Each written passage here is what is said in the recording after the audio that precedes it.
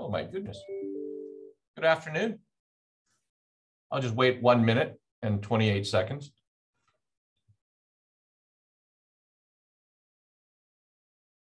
For a second, but at least you know we're here.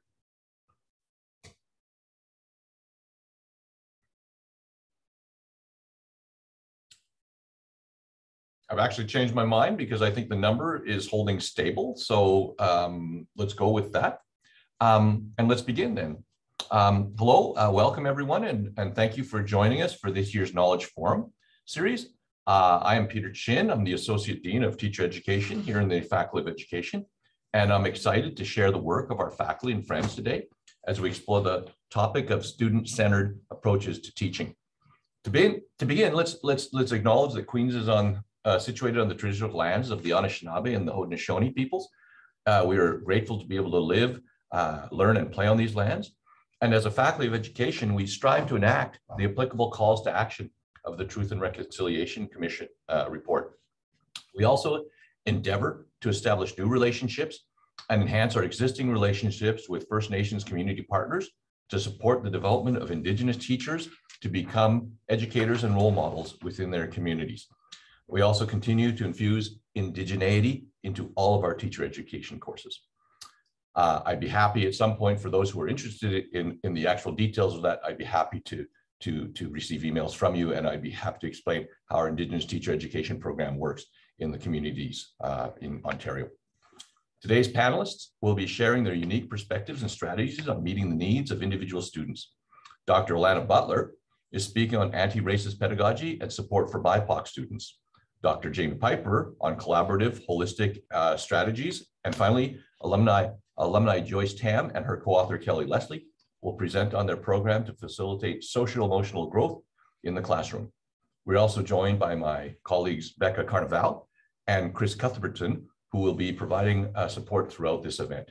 Please note that today's session is being recorded and there will be an opportunity for questions and answers after all speakers have presented. I encourage you to use, uh, all use the Zoom question and action, question and answer functions. Uh, with that said, uh, I'm pleased to introduce our, introduce our first speaker, Alana Butler. Alana is an assistant professor and EDI coordinator in the Faculty of Education here at Queen's University. Her research interests include the academic achievement of low socioeconomic students, race and schooling, equity and inclusion, and multicultural education. Her presentation will focus on strategies for supporting diverse students through anti-racist and anti-oppressive pedagogy. Alana, the floor is yours.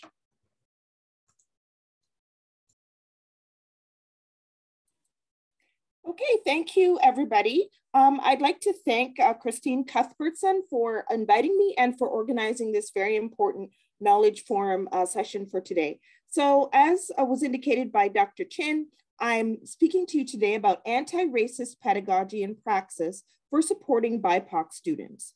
Um, I can definitely say that since uh, 2020 in the summer, um, our, our, you know, our faculty and in, in also myself, I've been uh, really receiving a lot of requests from educators um, at the elementary level, secondary level, and community colleges around anti-racist pedagogy. Um, our faculty also developed a guide that was well received and that kind of also led to a lot of requests. And I've been very proud to be able to work with the Limestone School District um, on some equity work with some teachers that I've been doing uh, some workshops uh, over the past year. Um, so that's been another uh, wonderful opportunity. So today, um, our brief session, we're gonna talk about um, racism, anti-racism, and anti-racist pedagogy uh, strategies for anti-racist pedagogy, and strategies for supporting uh, BIPOC students. Uh, in particular, that was an important one for the Limestone School District, in where they would sometimes have one or two students, um, and they would also wonder, like, how can I support this student without making them stand out or, or, or spotlighting them in some way? This is a quote from Angela Davis. It refers to, you know, in a racist society, it's not enough to be non-racist, we must be um, anti-racist. And um, many of us know what racism is. Uh, you know, we hear about it a lot. Um, the official definition uh, is that it's an ideology of superiority, and um, these dimensions can be anything, can be morality, it can be intelligence, it can be uh, values and things like that. But it's a system of advantage, really, that privileges one group over another. Um, this particular graphic, I think, is one of the things that I use with a lot of the teachers uh, that I work with uh, in addition to teacher educators. And one of the things that I think is so important is to realize that we're all on a journey. Today, you're going to get, you know, a very brief introduction, but realize this is a process. You know, it takes a long time to really unpack some of our learning and to learn about anti-racism. Um, I really like this graphic because it kind of looks at the different zones that you might progress through. And I'm hoping because you're all here that you're going to be in the learning zone and growth zone.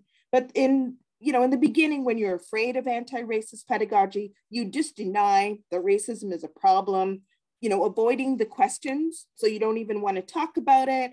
And some research that I've been engaged with, um, I had a, a SSHRC research study about early childhood educators. And one of the things we found um, was uh, we studied about their perceptions about race and how they handled racism. We found they were, a lot of them were in the fear zone. They were afraid to talk about race uh, in school because they thought, oh, if I talk about it, then that means that I'm, you know, maybe I'm, I'm going to be accused of something and I'm not prepared. They were completely in the fear zone in this particular study. Um, learning zone is where I am, where I work with uh, uh, folks. Uh, and in addition to our teacher candidates and teachers that I, I work with, um, a learning zone, you recognize that racism is a problem and you do seek out questions that make you uncomfortable. That's a really important thing is like we sometimes will be uncomfortable and you may feel uncomfortable talking about these issues, but it's really important as you move to the growth zone to understand, you know, um, how racism can affect uh, your learners in the classroom in addition to your own experiences and to be able to, in the growth zone, as it says there, sit with your discomfort.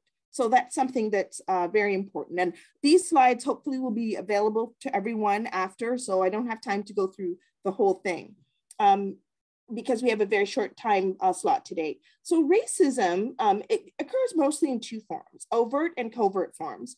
Overt forms are pretty rare in Canada. I'd say having been born in Toronto, I probably experienced one or two overt forms. Um, that means that you've been called a specific name, there's an expression or violent behavior that's been directed towards you. Covert forms of racism are really in the absence of language and it's very subtle. This is what you're most likely to experience in a classroom and what racialized students most likely experience in school. It's differential treatment. You know, um, data has come out um, from uh, certain school boards about different punishments. So saying that, you know, more students who are uh, Peel Board, for instance, came out with a study that said, you know, uh, Indigenous and uh, racialized students were more likely to get suspended than other students like for the same. So those kind of things, differential treatment um, denial of equal access, and then something called microaggressions. Um, that term came out in 1995. They're not only racial, there's a book there that I actually read, Microaggressions in Everyday Life. So microaggressions exist at the level of race, gender, and sexual orientation. And what they are are slight, you know, slights that you might make to somebody that indicates that they're not welcomed in that environment. They can be based on gender as well. If you, I give the example to my students of, uh, you know, a, a teacher who uh, you know is teaching a certain subject like they they've explained they've done studies on math for instance where they'll say there are certain teachers that reinforce uh, this kind of uh, expectation. So if somebody answers gives them a correct answer and they're uh, a, a, a you know cisgendered female the the teacher instructor oh great you know you get the give the answer. And then you know somebody who's expected to give the answer it's like like okay fine and we, we move on. Yes you got the answer but not to really go like indicate by your response that you expect less of them. So I think those kinds of things are microaggressions. Here's one from a, a subway, um, not a TTC, which is a Toronto Public Transit uh, poster that, that was in Toronto, it was posted. And this one is about uh, a common microaggression that you may have, where you see somebody who's uh, you identify as being racialized or you, you perceive that they're an immigrant and the whole go back to where you came from. And the person says, where? North York? So the idea from this, you can see is there's the assumption that somebody's from somewhere else. this tends to be quite a conversation starter when I do introduce this because a lot of people feel like this in it. Like some people who use this say it's very innocuous. Other people say, well, I'm the person, like when I do this with my teacher candidates, the racialized ones will say, gee, I get asked this all the time. When did I come arrive in Kingston or where was I born? And there's the assumption that, you know, there's certain people who live in certain places. So um, I, one of my strategies I say is, to avoid this problem is always ask a, a, student or anyone if they're from the city where you're in. That way you can't go wrong. So you meet anybody, are you from Kingston? No, then they, they get the chance to say where they're from. So making assumptions, that's part of microaggressions. Um, the effect of racism in school, we see pretty significantly.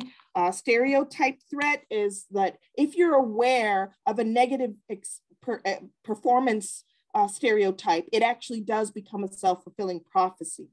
Uh, and that the self-fulfilling prophecy research, that comes out of the educational psychologists, uh, Claude Steele and, and uh, Josh Aronson, for years have done work on, on this and they've looked at test performance and they've looked at how uh, you know stereotypes and the awareness of it may actually have uh, an impact in your performance. So examples in the classroom um, excess, excessive monitoring and surveillance of certain students. If you make biased assumptions about a person's intellectual capabilities based on their ethnicity or race or colorblind racism, saying like, oh, it doesn't matter if you're blue, yellow, whatever. Um, that's denying the reality of racial inequalities that a student may be well experiencing um, in your classroom. How do we address anti-racism in school? One of the things that is key, you keep hearing about it, but I think a lot of educators lack the knowledge and they really struggle with this, but it's the curriculum. So you have to address through your curriculum, looking at uh, you know non-Eurocentric curriculum that really broadens the perspective. Um, it's about introducing different perspectives. Um, understand that there's there are indigenous ways of knowing that we do not value in our education system. We, we discount these things. And one of the things that's important is to realize it can, it can be reflected in all disciplines. So you can diversify any curriculum. It can be math, science, you know, literature. You just have to look into that. And I think that's one of the things that my work with teachers usually involves this, like sort of how do you find resources? How do you cultivate these things, the resources for diversity? The other thing is dialogue. Um, so curriculum is important, having an ongoing dialogue about race and racism through um, active work that you do with your students. So some schools have implemented talking circles and things like that, storytelling about uh, race and equity through books and, and in your films and for, forming relationships with parents, you know, bringing in elders into the school, indigenous elders to talk about their culture all those things are really important. So addressing anti-racism, I say, you know, the key thing is the curriculum. Like, what are you teaching? Is what you're teaching reflecting the students who are in your in your classroom? Um, do they have their identities reflected in the curriculum in what way? In in a way, and if it's not, then it then that that that can be very problematic. I'm just looking at the time here. I'm just going to read out. These are real questions that I received from Limestone uh, District School Board teachers for the workshop, what we did was we did some questions um, and it was around supporting BIPOC students. So one teacher asked, uh, often I'm aware that I may only have one BIPOC student in my classroom and they may feel kind of like responsible. Uh, aside from private conversations, how do we work with them? And another um, teacher says they, they, they're really struggling, they feel like they're struggling to support their BIPOC students and educating students who have uh, hurtful views and sometimes they kind of feel stuck. What, what advice would you have? So for supporting students, as with all students, you know, building a positive relationship of trust is the first step. Having informal chats about other subjects that they may like, um, not just talking to them about race, talk about other things too. And then once you have built a relationship with those BIPOC students, you can ask them how they think they could bet like you could best support them. Don't choose or decide for them ask the student, you know, once you built that rapport to, to what would you prefer? Like, you know, we're going to be talking about uh, a difficult topic next week. How would you like to talk, speak about this? Or would you like to just not like give them that option? is a really good way. Um, suggested language, you know, I know it's not easy being the only, and, and this is again very particular for Limestone School District, um, student in the classroom. Let me know if there's anything I can do to make things easier for you. See my little uh, South Park with the, the, to the one token Black student. So some BIPOC students may feel empowered by having a voice, while others feel uncomfortable being spotlighted. So you show them that you care and that you're aware of it. So that's one thing I'd like to talk about. I want to conclude by this is what I try to impart with my teachers developing an equity lens. I want you as educators to make equitable choices about everything your curricula, curriculum, the uh, pedagogical practices assessment. Who are you excluding by your choices? Whose perspective are you operating from? Which other perspectives can I include and how are my challenges how are my choices challenging or resisting racism and resisting white supremacy so if you go through that checklist with your assessment with your curriculum that you pick up pick up on your pedagogical practice like think about it who am i excluding whose perspective am i operating from so if you see that you're operating from one perspective only which other perspectives can i include and, and how are your choices every day challenging racism Okay, I think, oh, this is good. Okay, I timed this out correctly. I would like to direct you all to our, um, there's a link here to Queen's University. We developed an anti-racism and oppression guide uh, that has been well received, is my understanding. Um, that there's a lot of resources there and we're working on developing a website, but th these are a list of some resources that you might find uh, helpful and supportive of you as you uh, incorporate anti-racism in your teaching. Uh, any questions, I welcome them. Um, just it's Alana Butler at queensu.ca. I think I, I timed myself up pretty well here. Good. All right. Thank you very much again for um, inviting me. And I look forward to your questions at the end.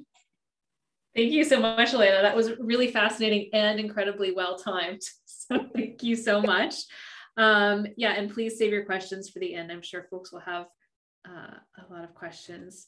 Um, okay, so I'm going to introduce uh, Dr. Jamie Pyper, who is an associate professor of mathematics education here at Queen's University. He teaches in the graduate and undergraduate programs, and his research interests explore the intersection of teacher beliefs, content, and pedag pedagogical knowledge and professional learning models. Um, and I'll hand it over to you, Jamie. Thank you very much. I'm going to jump right in. I'll share my screen. And really, I'm going to continue from Alana's points. Let's see if I can get this to start.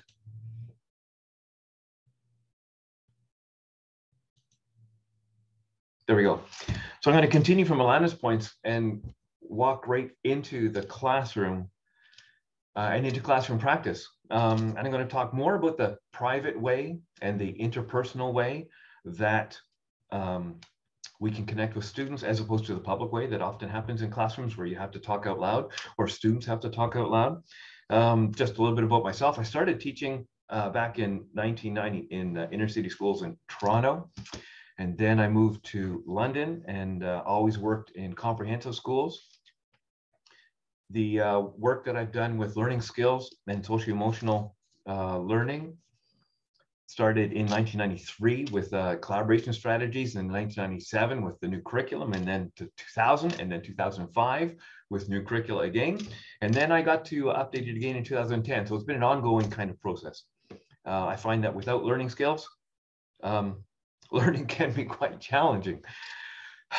And when I think about students that struggle in class or students that don't see themselves in the class, then how can how I can help students see themselves in the learning in the classroom, and in particular, since my subject uh, is mathematics and high school uh, mathematics teaching, how do they see themselves in mathematics can be really important for for their uh, well, just them staying in class.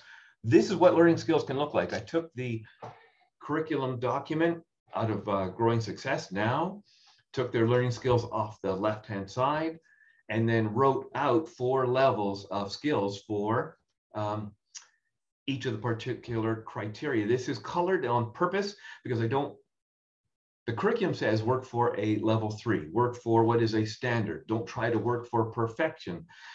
So that's why level three is bright, easy to read. Anybody can see this from anywhere in the classroom. Level four is that wow space. And it's a little harder to read. If somebody really wants level four, they're going to go up, have to look at it a little closer. Um, students in my class do this all the time. They stand up and they go over and they, they take a look at them. We talk about these every day. We work with these every day. This is a value system that I hold about being a learner. Um, at one point, actually, some of my colleagues uh, at another high school uh, who also wanted to and, and implemented these uh, this learning skills in their classroom, we decided we needed to have our own rubric on the wall, uh, but it would pertain to the Ontario College of Teachers standards of practice. Um, and so we worked on a little bit, but that's just an illustration of how we and I feel this is really important how to keep track of these. This is what started in around 1993, and I was working with uh, uh, student success and, and uh, the uh, learning classroom. It's a page I put on green paper so that it's called the green sheet. Students pick it up, they use it in classroom, and then they leave it before they leave the classroom. I then take a look at it, but it gives them great opportunity to be able to uh, keep track of what they're doing. I get to talk with them about it. They can um, self-assess according to the learning skills rubric, and it goes on the on the chart on the page. I get to talk back and forth. I have some examples. Let me show you. Stop that.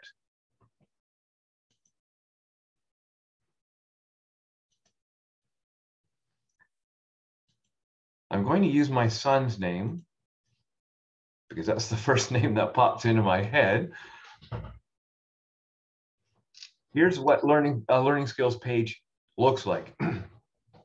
Very first day, this is a grade 9, 10 essential split class. Um, I, at the very beginning, I asked them to write their name. In this class, I had about 20, 24 students. So I had six groups of four. And at one group of four, there was four young boys who were all uh, 15, 16, 17, 18 years old. They had not succeeded in mathematics for a number of years before they came in. And this is from Jake's page. And I asked him to put their name. He took a pencil and he just put it in his fist and he just scribbled on the page. I asked him uh, if he could rewrite it. He did. But look what he said for goals. I don't make a goal. There's a, a lot of opportunity here for me as I'm working the crowd and just in the classroom while they're working to be able to have short conversations with them and it's just with them that nobody else can hear. But there's also places where at the end of the day, if they say something, then I can write back to them. And in this case, uh, I said, good work in class today. Uh, write a goal at the top of the page. And he evaluated himself for initiative at three. We were able to talk about what three meant the next day. This is October. Um, Jake got new glasses. Um, he's not the kid who would, uh, he was 16 in, in this grade 9, 10 class. Um, he's not one who would be very verbal. He sure wouldn't talk to me, not the, the math teacher, um, uh, about things, but he had new glasses. So I wrote, Your glasses look cool. Were they helpful today? It took him two days and he wrote down, Yes, they did. Thanks for the compliment. Ooh, wow, he could articulate that he received a compliment. I thought that was pretty, pretty nice. Here's November. We were talking about um, uh, circles, which led to um, the geometry of circles, but really that was because of uh, electrical meters. Uh, and he said that they were fun. and I said, yes, I think so too. And then down here, he called the, uh, when we were working at the 24 hour clock, he thought that was cool. I don't often see too many students say that they think mathematics is fun or cool. And this is from a student who really could never see any value for mathematics. I see two things happening. He's showing up. I see his printing getting better. He's starting to talk to me about how he's feeling about mathematics. And I thought this was this is sort of funny. Uh, there, we got cool electrical meters again. But uh, today I learned how to, and he's writing a whole lot. Today I learned how to get the total cost of your electric bill. We were working with the electric bills. It was nice to know how to make sure the government doesn't rip us off. He felt that it was important to be able to understand this so that he could make sure he wasn't paying too much or his dad wasn't paying too much in terms of electric bills. I thought that was cute. Um, often you don't get to really help students with spelling even uh, except in where they feel is well this is spelling moment this is math class we don't do spelling he wrote cylinder i corrected it he then corrected it himself and laughed at himself and then we tried another one he completed the course and he passed it. The next September, he showed up in my grade nine applied class, that September 12th. His goal is show up, get it done, pass, graduate, get out. And I thought that's a very good goal for someone who took three years and couldn't pass a, a math course. The next semester, he showed up in my grade 10. It was a very small school. So I was the, there was only two of us as math teachers. So he really didn't have much of a choice except seeing me again. And he showed up in grade 10, applied, and this is what he said I am taking this course because I was in Essentials before, but I would like to go to college. I said, Excellent. I love to see that he was starting to see himself in school, that there was a purpose and value to being in school and to being in math class. And he was able to articulate it. And when we talked about a learning skill, he said self regulation. I, I, had asked them, you pick the learning skill you want to talk about. He said self regulation because you have to control yourself. It's just so I'll stop that. Just as an example of how learning skills can work.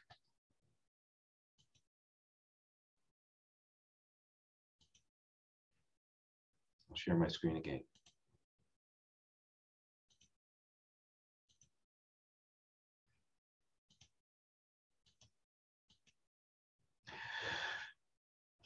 So back to the green sheet just some examples.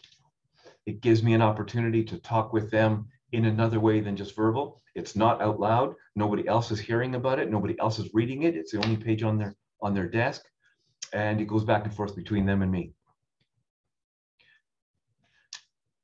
That's at the secondary level. At the tertiary level, trying to find a way in which I, because the only experience I have is as a white cisgendered male, and trying to help my students in the B.Ed level or my grad students also be able to see themselves in the learning, to be able to bring who they are to the to the learning as well. For me to be able to uh, respond to even some of the calls to action from the TRC, then I need to have a way, a strategy in which the classroom becomes much more uh, of a problem solving space where they can find something that they really uh, gravitate to, and then they can learn it, and then they bring it back to the class and collaborate with a whole, find something new, and go out and come back. This is problem based learning. It's not just because you have a problem, it's a particular strategy, a particular way of working. And it hits these big ideas, talking about constructing extensive and flexible knowledge, problem solving skills, self directed, there's learning skills, you imagine, uh, effective collaborators. These are all the behavioral strategies we'd like to be employing ourselves. It looks like this, there's a bunch of steps, but what I want to, you to focus on is the, the way that the first four steps of approaching a problem with a group is to talk and to talk and to talk and to figure things out. You brainstorm and then you discuss, and then you come up with things that, well, I think this makes me think I need to learn about this. You identify it, that's number five. You then go away and the whole group separates and comes back because they all learned the thing that they really wanted. And then it cycles back up here. So it's a big cyclical loop over and over. Uh, PBL cycle could take four or five particular weeks if you meet once a week, or maybe two weeks if you meet twice a week. So a bit of a long term process. I've run this with um, B.Ed classes and with grad classes, especially in the uh, mixed methods class in, in our graduate program, because if you're going to be mixed methods as a methodologist, you probably are not going to be able to learn and know everything. So you need to have a team and be able to work with people and, and be collaborative. So problem-based learning, a problem of research, and then working in a team fit together really nicely. Some evidence from uh, a study that I've been working on for the last couple of years for pre-service teachers, pre-service teachers become more self-aware of their beliefs. One of the best ways for you to make a change is to understand how you are thinking and how you are believing. We've got improved critical thinking about pedagogical content knowledge, which is you know how to teach, you know what you're teaching, you put them together. And distinct changes and improvements to teacher advocacy, teacher concern, teacher orientation. These are all the ways in which we can think about ourselves in the classroom, and they are influential to how we then behave and make decisions in our classroom practice. I'm going to stop there.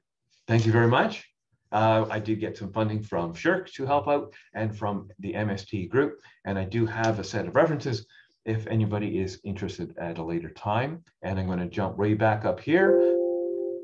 And oh, I don't have my uh, email address. It's just jamie.pyper. Thanks, Jamie. We can put it in the uh, in the chat if anybody wants to to ask Jamie any complicated questions about all of that information because that was a lot in a very short time. Thank you so much for that. Um, so I'm going to introduce uh, our next two uh, speakers. So uh, we have two uh, people collaborating on this presentation, Joyce Tam, who is one of our alum, graduated through BEd, uh, and she's been working for the Peel District School Board for over 20 years. Uh, it has always been important for her to teach about kindness and inclusion and to build empathy in her students.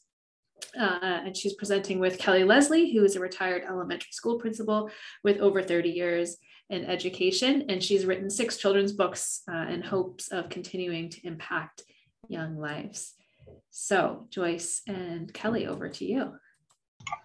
Thank you so much. And thanks so much for um, inviting us. Uh, as you see, Joyce and I are working in tandem, um, but she's driving. All right, so I will share the screen.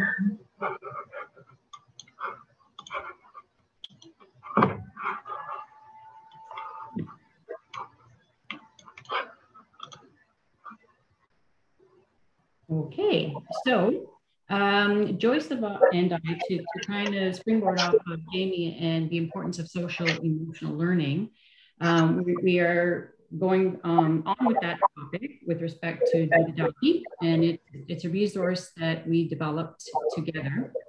And it, it addresses students basically um, at the other end in the elementary division, K to three, but as we will explain as we go through our quick synopsis, that um, a lot of the lessons, the exercises in here can be tweaked um, for junior grades, and we are piloting in both areas. Okay, ready. So, um, first of all, the as um, was mentioned, um, I'm a retired principal. I have 35 plus, I don't know, years, never mind, in education. Um, when I retired, um, it was lovely to finally have time to breathe and to address something that always bothered me somewhat when I was in the classroom and then when I was in administration. And basically, that was the representation of um, our students with special needs in print.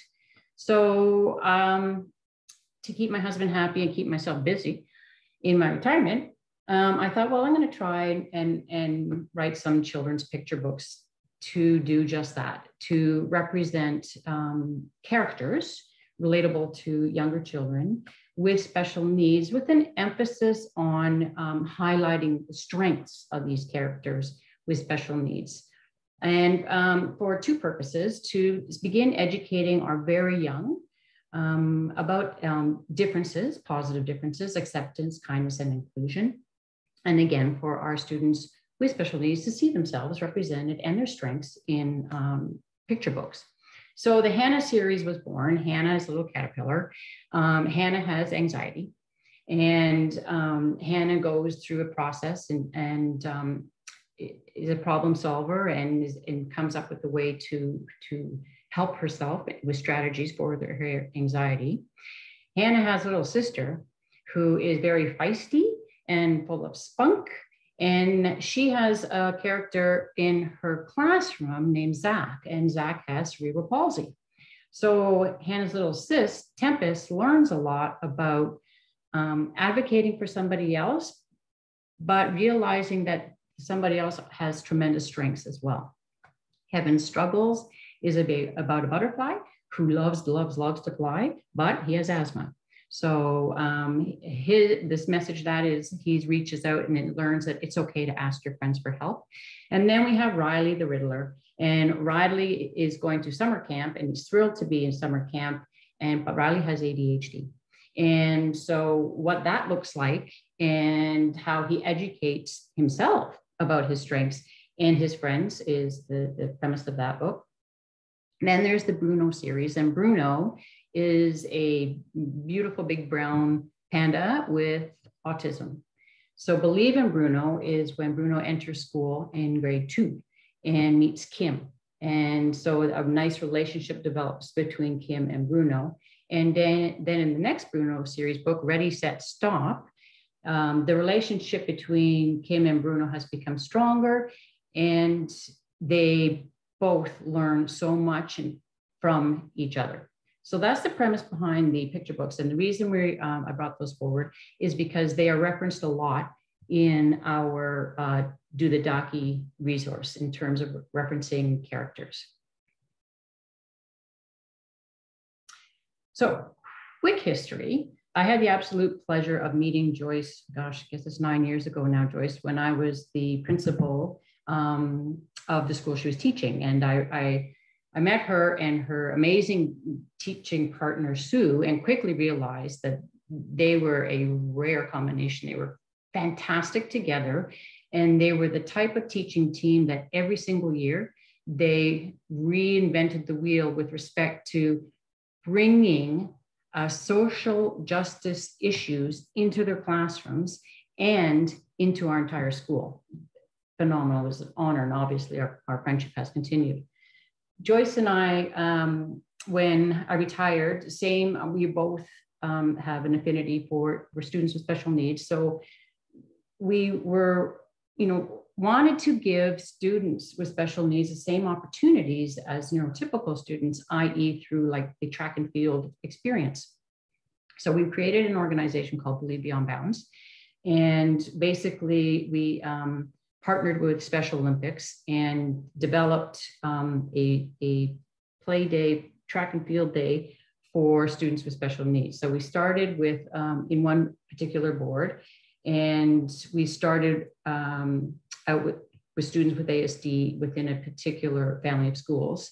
And um, we had um, a classroom of uh, developmental delayed students in a high school create t-shirts for us and we had medals as well and parents were invited and um, it was uh, it was an amazing experience for the students and the staff and the parents and and everybody that was involved. And then and we were able to expand our family of schools and then COVID hit. So we were able to implement this for the first two years and here we are in COVID. Our dream is to expand it for all students of particular boards with special needs and then pairing with um, Special Olympics has helped a lot. So when they, uh, uh, the six picture books came about, Joyce is the social media guru and she started sending out social media and um, I started reading to primary classes in different boards, etc.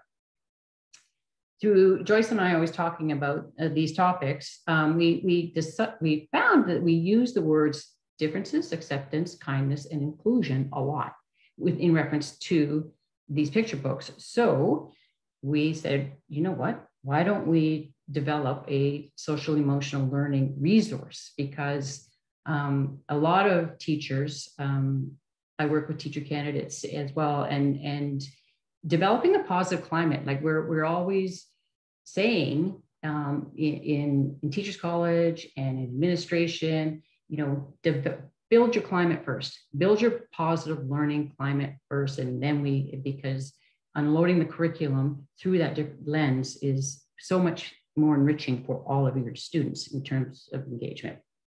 So we um, developed the DAKI. Um, so what we're going to do is just go through, there's four chapters, one letter pertains to each chapter. Um, every chapter um, has lesson plans, etc., and they're directly linked to the achievement chart to help um, educators with the assessment piece. And as uh, Jamie was saying, the learning skills are becoming more prominent, so they can be referenced. And the lessons in each chapter are differentiated between K to one and two to three. But as, as I said, they can be taken and altered to um, address older students. And um, the appendices is filled with everything that is in each chapter in terms of making it very user friendly for teachers to just go to the back, copy what you need, and away you go. Joyce, your turn.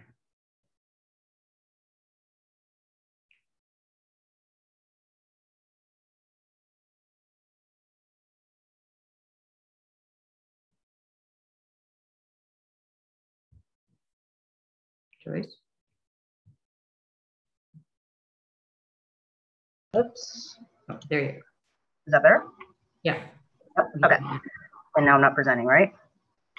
Uh, well, Yep. you, on One second. Okay, good. yeah.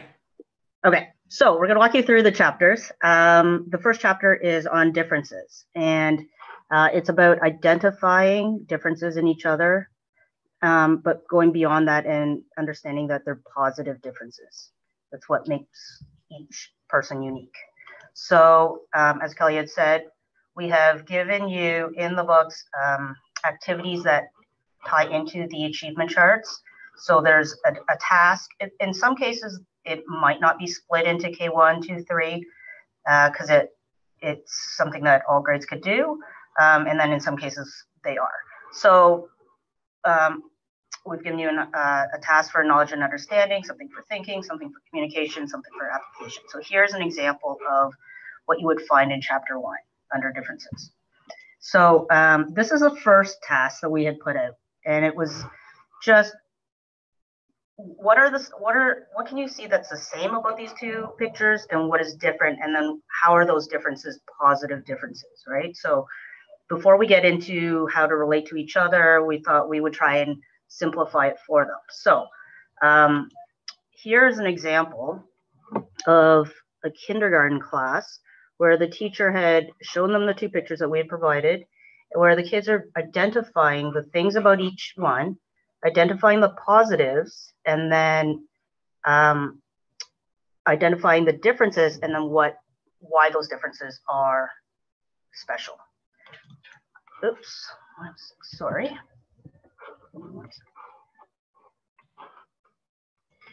Uh, here is one from grade three. So uh, in the book, you'll see there's there's ice creams, there's trucks, there's baseball, uh, different types of sports we tried to find um, different pictures that we thought would be of interest and then teachers can use whatever is meaningful for their class. So here's an example of two trucks, red truck and a, a yellow truck. And this grade three student had teased out the differences, um, what was the same, what was different, and why those things were, were uh, special. So here's her example, explain how each of these, their positive differences make them special. So she said the red truck is different than the yellow truck because it has more room in the back.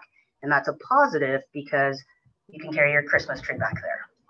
Um, and then took it a step further where then she's designing her own car or her own truck, sorry, that is similar to the, the red and yellow one, but then adding something different to it. This same child, so this is just lesson one in chapter one.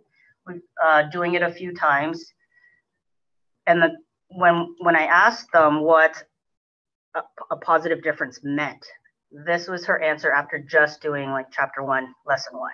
So positive difference is when a person or anything that is different and it is a good thing about them. Some people wear different types of clothes, like in India, people wear saris. This is good because they get to show other people their tradition. So she's got it, and that's just after the first lesson. Um, and then Kelly was talking about how even though we are targeting K to three, it can be extended to other grades. So we had a grade five teacher also do it with her class. And she said that um, the discussion was rich. The, it was a good discussion, lasted about half an hour. And it was a good intro to them doing a, um, they're doing a study on the book. This book is anti-racist, and it was a good way. It, it was a good lead-in for them. So, um, even though it's K to three, it is applicable to all grades. This would be um, the second lesson in there. So this is just an example. I won't go through the lesson, but this is an example for you of just here is uh, K to one. So at the top, it'll say K to one, two to three. And here are all these different acts of kindness.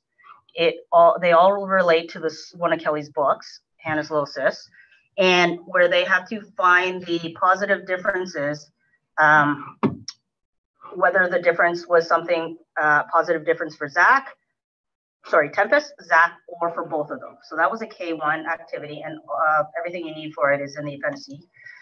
Um, and then the two, three was to do a Venn diagram. So, you know, depending on your class, pick the one that works best for you. Okay, so moving on to chapter two is about acceptance.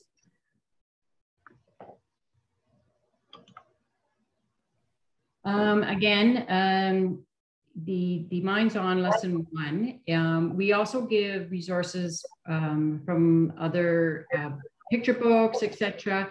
So we, this is just an example of um, maybe a teacher would first want to read Don't Call Me Special uh, by Pat Thomas, because what we want to do with acceptance and introduction of it is acceptance of self. Um, conversations around what um, and questioning them about their strengths and their areas for growth.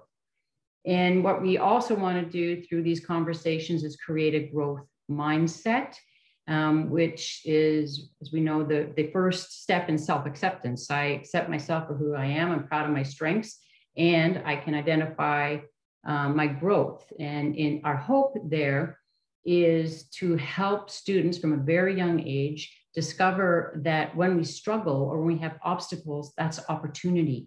Um, it's not a, I can't do this, therefore I'm done.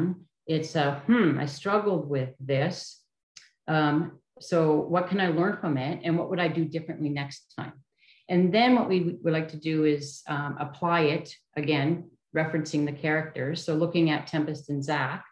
Um, and Zach would be a perfect example of someone who completely accepts himself who, who he is, and he's rather proud of it. And he has opportunities within the book to explain to his new best friend, Tempest, um, that Tempest always thinks that he's sad because he can't play in the soccer games. And and he explains, I'm not sad at all. I stand here because I love soccer and I can really see how the players move about the field and I want to help coach the team. So um, we have a couple of worksheets as well, um, or points for dialogue, I guess, coming up. So in the K1, again, it's a lot of dialoguing, things I'm good at and things I'm still learning. So it's identification and it's conversation. And then moving on to the grade two, three, we are looking more in terms of expanding on that growth mindset. So um, we've already done the preface of, the, you know, what am I great at? And we're looking here, what am I still learning? And when I am still learning something, and sometimes it's tough, and sometimes I'm going to come up against an obstacle, what can I talk, say to myself that'll help me? And so we're, we're embracing positive self talk. And then um, with each, we have this is Hannah as a butterfly. Um, we have this graphic in the book, always in the appendices as well. And in this case, it can be filled out and highlighting the A's, what we're focusing on. And um, I'm still learning to read. What's my positive self talk? They can record it and two things that they're still learning to do and how would they um, give themselves positive self talk. And we, we provide a lot of these things, especially in the appendices. You can use, um, you, got, you got caught doing something good with this um, illustration. And what a teacher can do is when they, once you've covered the program, which will take a while, um, say somebody has this, somebody, their teacher says, sees someone accepting another, accepting someone's idea, etc. And then you get a, you got caught doing something good and then you can you know, post them around your classroom. Then we move on to kindness. So with kindness, we're kind of prefacing this. Um, we the first few lessons um, addressing kindness follow a number of activities that address and identify kindness through self-awareness, followed by deconstructing acts of kindness um, in the books. And it basically it, it, it centers on kindness is a wonderful thing in both in two ways as a giver and as a receiver. So there we try as much as we can also to bring in extracurricular cross-curricular connections. So the creativity uh, bent is something, an activity that our, our K1 students could do and our two threes. Um, our kindness rocks. So they, they paint the, the rocks with pictures and positive messages.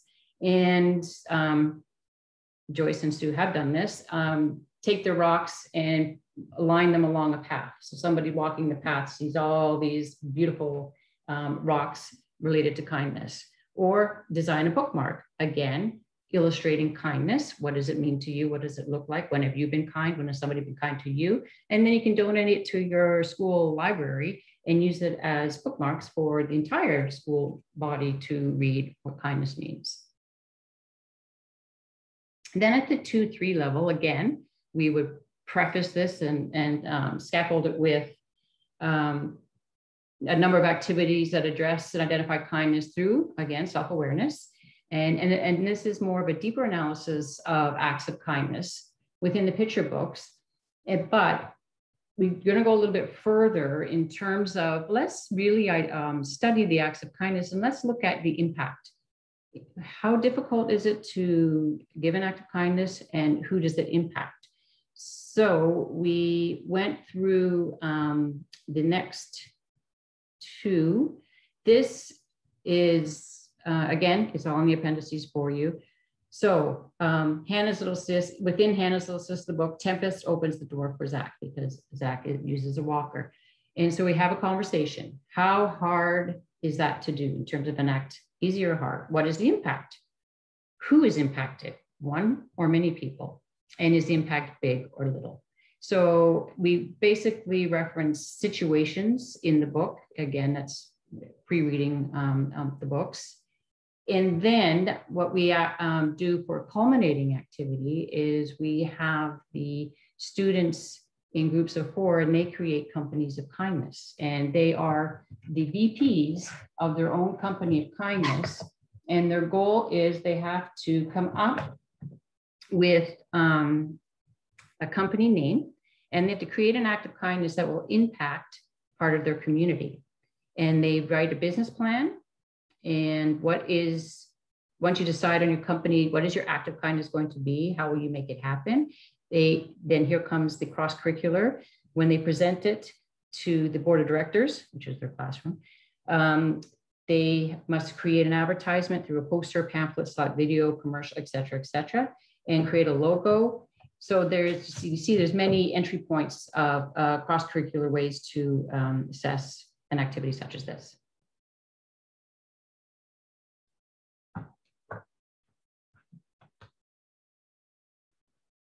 You're muted, Joyce. Thanks. All right, so um, the last chapter is on inclusion. So um, this is a grade uh, one. It would be perfect for grade one, but I'm sure you can extend it for other grades. So it ties in science, math, language arts. It's a STEM challenge having children build an accessible, an all-inclusive, accessible playground for all children to enjoy. Um, so grade one's like what science types of materials, grade three structures. Uh, it fits in perfectly. Um, and then the extension is to have uh, the students then go right to your local mayor um, to advocate advocate for inclusive parks in their neighborhoods. So I'm just going to show you a couple examples here of uh, these are grade one. Um, so right here, raised sand table for those in wheelchairs to be able to enjoy, accessible seating, uh, ramps for wheelchairs, this was, you can't really see it right, but this is really neat because this student created a PEC symbol board for the nonverbal students, created a fence for safety. Um, so anyways, this was a great task. Students enjoyed it. A uh, great way to kind of tie it all together and uh, think about all children. So uh, then this is an example of a letter to the mayor. So it says, this is grade one. So, dear Mayor Crombie, I think every park should be inclusive. I made a model for a park. I included an elevated sand table, a merry-go-round with a ramp, a fence for safety, and a lowered swing, and a PECS board for children, for kids who do not speak, so they can communicate what they want to play on. And that's uh, those are the four chapters. Uh, you gotta change the slide for me. This is it. So, uh, thank you. We are piloting the, the DAKI, and this is the, the list of the school boards that were thrilled um, that will are piloting it for us. Um, we're really excited about Baker Lake, the Nunavut. We're so excited about, about pairing um, with that district. But and if anybody watching this is interested in bringing this into your school or piloting it yourself, we would love to hear from you. Joyce will go through the social media bit in just a minute. Um, and we are looking for all kinds of feedback as to um, how it's being transferred in, in classrooms. So the best way to reach us, um, we're on social media uh, at K Leslie Books for the most part. Um, so Twitter, Instagram. We're very new to TikTok. We're not really sure how it works, but we're trying. Um, Facebook. So we created a private Facebook group uh, for teachers who are using it. Just request to join if you're using it. Um, it's just a place where Kel and I can support it. Uh, Kel's been doing a lot, a lot of read alouds. So if that's something that um, you would like and you are piloting for us, just reach out to us. Uh, Kelly's email, and then her website has um, a bunch of activities that um, aren't necessarily DAKI specific, but uh, that cross science, social studies, coding, um, language arts, tons of activities. And then one of the things that she likes to do best is give kids a voice. And so we're trying to showcase a lot of kids' work so that we'll post it, kids can go then see that their work is up. And then, um, oh well, all the things that you need will be available on Amazon.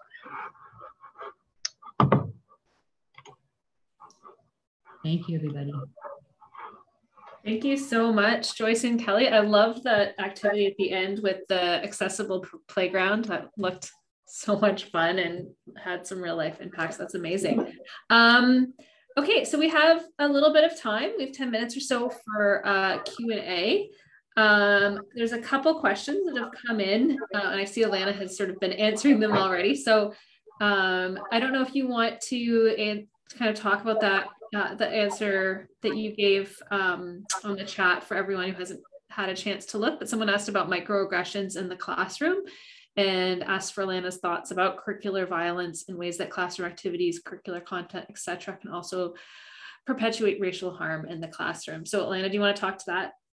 Oh, um, just very briefly, just in the interest of time, I answered Yasmin uh, is an anti-racist educator herself, so I think she's also someone I look up to a lot. But I gave her a reference for um, a, a, particular scholar who's done work about pictures and, and textbook photos and how they can serve as what is called visual are called visual microaggressions. Um, his name is Dr. Daniel Solórzano, and I've attended his presentations at AERA which is um, um, the American Educational Research Association. So he's actually done specific work on like how how the curriculum kind of serves in that way. So that's maybe one way to follow up. And Yasmin, now follow up with you in person.